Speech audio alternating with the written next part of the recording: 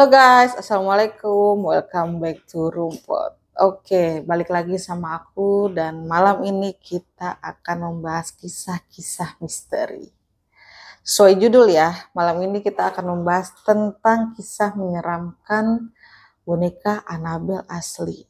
Nah ngomong-ngomong tentang boneka ya, siapa nih anak perempuan yang dulunya suka main boneka?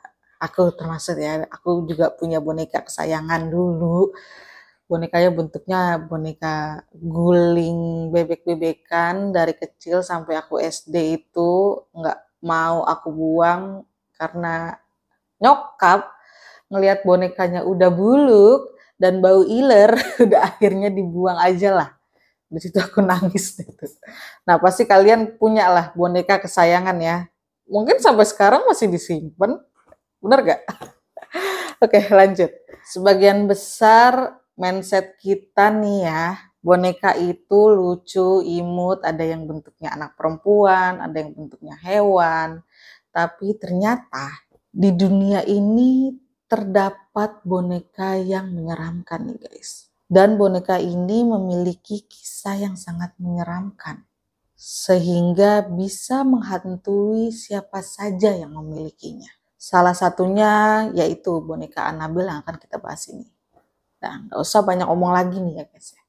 Langsung aja nih ya guys, kita bahas tentang kisah menyeramkan boneka Annabelle asli.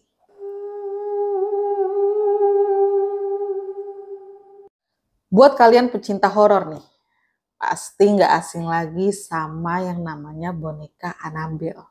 Boneka yang muncul di film The Conjuring. Dan di dalam filmnya ini, boneka Annabelle itu berbentuk anak perempuan, rambutnya dikepang, mukanya menyeramkan, dan bentuknya itu dari kayu ya. Kalau nggak salah ya kayaknya dari kayu. Dan ternyata boneka asli sama boneka yang di film itu beda banget guys. Kalau boneka aslinya itu, bonekanya ini berjenis boneka Regedi Endol. Kalau misalkan nggak tahu boneka Reggie Endol nih, nanti aku tampilin di sini. Ini boneka Reggie Endol. Bentuknya imut, lucu, nggak serem sama sekali. Tapi ternyata di balik keimutan dan kelucuan boneka ini, dia menyimpan kisah yang sangat menyeramkan. Benar-benar nggak habis pikir. Ya kalau di filmnya sadis banget lah bonekanya sampai bisa mencelakai pemiliknya gitu kan. Sama, hampir sama. Tapi lebih sadis yang aslinya ternyata guys. Oke. Jadi boneka Annabelle ini ternyata dulunya dimiliki oleh seorang anak gadis nih guys. Bernama Donna. Dan Donna ini mendapatkan boneka itu dari ibunya. Karena hadiah ulang tahun nih ceritanya ada yang bilang hadiah ulang tahun, ada yang bilang hadiah Natal. Whatever lah ya, itu yang penting dia dapat hadiahnya itu dari ibunya. Dona saat itu sangat-sangat menyukai bonekanya itu. Nah, sampai beranjak dewasa, Dona kuliah nih. Dan dia ngambil jurusan keperawatan saat itu. Dan saat itu Dona memutuskan untuk pindahlah ke apartemen yang dekat kampusnya bersama sahabatnya bernama Angie dan ya bonekanya ini dibawa juga nih sama si Dona karena ya karena boneka kesayangannya itu ya ke mana-mana dibawa lah yang nggak ke mana-mana juga maksudnya dari rumah ke apartemen dibawa gitu. Nah sehari dua hari seminggu dua minggu sebulan nggak ada kejadian aneh-aneh di apartemennya itu hingga berapa bulan setelah dia tinggal di apartemennya itu Angie ternyata baru sadar nih guys. Ada sesuatu yang sangat menyeramkan yang terjadi pada boneka yang dibawa sama si Donna. Astagfirullahaladzim. Gerakannya relatif tidak mencolok nih awalnya. Hanya berubah-ubah sedikit lah ya gitu. Tapi seiring berjalannya waktu, gerakan yang ditimbulkan oleh boneka ini semakin menyeramkan. Beberapa kali Donna dan Angie memergoki nih boneka tersebut berpindah ruangan dari tempat awal si Donna taruh nih guys. Jadi kalau misalkan dia taruh awalnya di kamarnya Dona, tiba-tiba dia pindah nih ke kamarnya si Angie kayak gitu. Padahal nggak ada yang mindahin karena kan awalnya dia tinggal berdua doang. Aneh kan? Nah kadang-kadang boneka Annabelle ini duduk bersila di atas sofa apartemennya si Angie dan Dona. Coba, tiba-tiba bonekanya sila.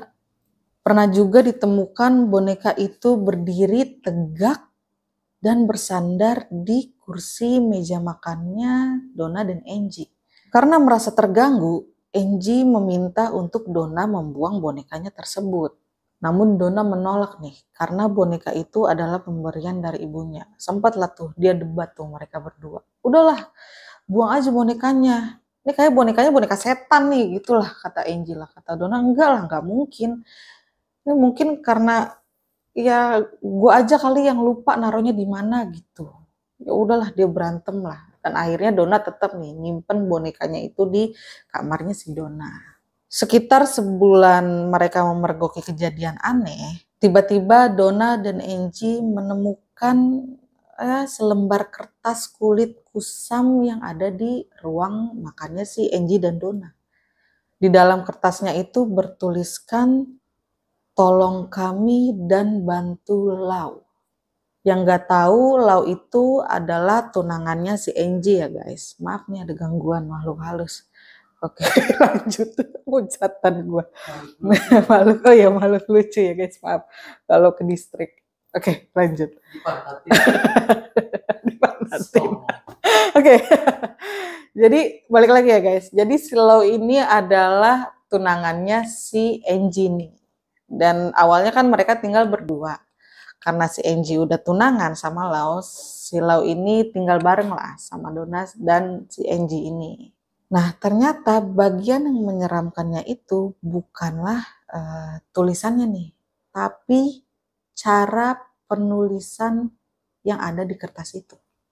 Tulisan itu seperti tulisan anak kecil ya tahu sendiri lah tulisan anak kecil tuh kayak tulisan dokter kagak bisa kebaca tapi ini untungnya bisa kebaca, tolong kami dan bantulah.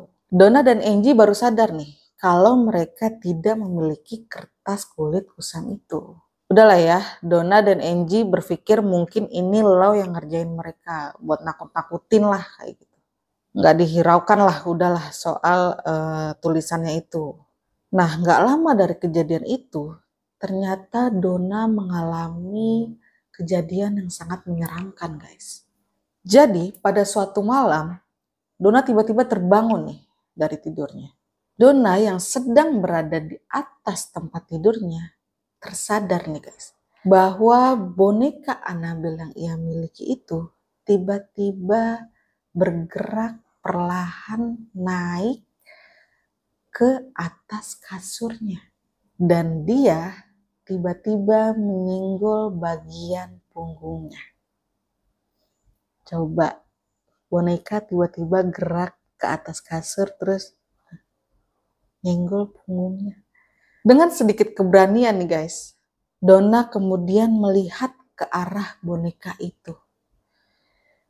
Dan kagetnya nih, Donna menemukan tetesan berwarna merah seperti darah ada di mata, tangan, dan dadanya boneka Annabelle itu.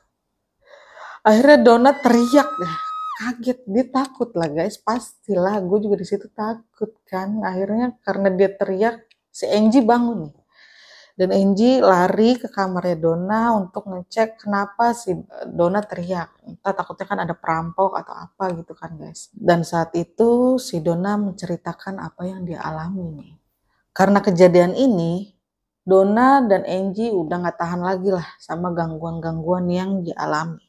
Dona dan Angie mencoba menghubungi salah satu paranormal yang bisa berbicara dengan makhluk astral. Dan paranormal itu datanglah nih ke apartemennya si Dona dan Angie. Dibawalah tuh bonekanya si Dona ke depan paranormalnya itu. Paranormal itu kemudian berbicara nih dengan makhluk astral yang ada di boneka tersebut. Dan kata paranormal itu ternyata boneka tersebut dirasuki oleh arwah anak kecil berusia tujuh tahun bernama Annabel Higgins. Paranormal itu bercerita kalau Annabel ini sudah tinggal lama guys di sekitar apartemen yang Donna dan Angie tinggali saat itu. Dia meninggal persis di lapangan tempat komplek apartemen itu berdiri. Dan ternyata arwah Annabel ini katanya nih bilang ke paranormal kalau dia suka tinggal bareng dengan Donna dan Angie. Karena merasa iba sama si Annabel ini, akhirnya Angie dan Donna mengizinkan untuk Annabel tinggallah bersama mereka. Udah gila-gilanya loh setan disuruh tinggal bareng. Meskipun tampaknya hal ini bukan pilihan yang sangat bagus ya, atau sangat bijak lah kayak gitu. Terutama ketika silau mendapatkan teror yang sangat menyeramkan guys. Jadi setelah Donna dan Angie ini bertemu dengan paranormal itu kan si Donna dan Angie mengizinkan Annabelle untuk tinggal bareng sama mereka. Dan akhirnya pada suatu hari Silau ini pulanglah ke apartemennya itu. Jadi ternyata Silau ini memang sudah cukup lama nih nggak suka lah sama boneka si Annabelle itu karena Silo pikir boneka itu dirasuki sama makhluk jahat. Yang Silo tahu ya. Tapi yang Donna dan Enki tahu kan dia dirasuki sama arwah anak kecil berusia 7 tahun. Bernama Annabel Higgins ini. Dalam beberapa kesempatan Silau ini mengingatkanlah ke Donna. Kalau boneka ini tuh dirasuki sama makhluk jahat dan dia harus menyingkirkan boneka tersebut. Karena si Dona terlalu sayang sama boneka itu, udahlah dia menghiraukan lah omongannya si Lau itu tuh. Karena si Dona berpikir di dalam boneka itu cuma arwah kecil aja, yang nggak mungkin bisa sampai mencelakai mereka. Nah ternyata si Lau ini mengalami kejadian yang sangat menyeramkan juga. Saat itu dia sedang tertidur nih guys dan tiba-tiba terbangun nah karena silau ini merasa ada yang janggal nih. Tubuhnya tiba-tiba tidak bisa digerakkan. Kalau kita mah bilangnya mah rep-repan ya, ditindihin nama makhluk astral lah gitu. Kalau kata kita mah ya, kalau kata dia mah kagak tahu dah. Oke, lanjut. Dan kemudian silau ini berusaha melihat nih sekeliling kamarnya itu. Dan ketika Silau melihat ke arah kakinya, walaupun dia nggak bisa gerak, tapi kan matanya dia bisa gerak tuh, ya kan, ngeliat ke mata begitu. Dia menemukan bonekanya si Dona itu tiba-tiba menyergap kakinya guys. Dan bergerak menuju atas dadanya Silau. Duduk-duduk gitu, betul begitu. Ditindihin lah kayak gitu. Dalam hitungan detik, Tiba-tiba boneka Annabel itu mencekik silau. Hingga silau kehabisan nafas lah. Akhirnya dia pingsan lah saat itu. Dan keesokan paginya akhirnya silau terbangun lah. Terus dia mikir mungkin itu cuma mimpi buruk lah atau apa gitu. Nggak mungkin lah masa boneka bisa tiba-tiba jalan sendiri terus nyekek gue gitu. Udah mimpi buruk, udah dihiraukan lah sama silau. Beberapa hari berlalu, kemudian silau ini datang kembali nih ke apartemen tersebut. Tapi ternyata di apartemen itu kosong, nggak ada Dona sama si Angie. Dan tiba-tiba silau ini dengar suara berisik tuh di kamarnya si Dona. Dia pikir ada perampok atau apalah kayak gitu. Langsung lah tuh dia dat pelan-pelan tuh datang ke kamarnya Dona. Tapi pas dia Sampai ke depan pintu kamar Dona, tiba-tiba suaranya itu berhenti guys. Silau bukalah tuh pintu kamarnya si Dona. Dan dia coba untuk menyalakan lampunya. Ngerinya kan ya itu ada perampok masuk ke situ kan guys. Dengar ada silau datang, dia ngumpet gitu atau apalah gitu. Dan ternyata di kamarnya Dona itu kosong, nggak ada siapa-siapa. Sama sekali nggak ada orang hanya ada boneka Regedi N yang berada di sudut kamarnya si Dona. Lo kemudian mendekati nih ke arah boneka tersebut karena tiba-tiba dia ngerasa kayak ada yang aneh sama boneka itu kan. Tapi ketika si Lau mau mendekati boneka Annabelle itu, dia merasa ada sosok yang berdiri di belakangnya. Langsung dong Lau refleks melihat ke belakangnya kayak gitu kan. Ya namanya kita kan kalau ada orang pasti ngerasa di belakang tuh ada siapa kayak gitu. Pas dilihat ke belakang, betapa kagetnya dia menyadari sosok itu tiba-tiba menyergap badannya Silau dan mencabik-cabik dadanya Silau. Hingga kemejanya Lau itu berlumuran darah guys. Ada suara koin tuh. Ah, udah. Ketika Silau ngerasa kesakitan dan dia coba datuh ngebuka kemejanya itu, Lau melihat ada tujuh tanda cakaran Tiga goresan itu berbentuk vertikal dan empat goresan lainnya berbentuk horizontal. Lo kemudian menceritakan tuh kejadian yang dia alami kepada Donna dan Angie. Lo menyebutkan semua luka yang dia dapatkan tuh yang dia rasa tuh panas gitu kayak kebakar. Untungnya luka goresan yang dia dapati itu akhirnya menghilang lah.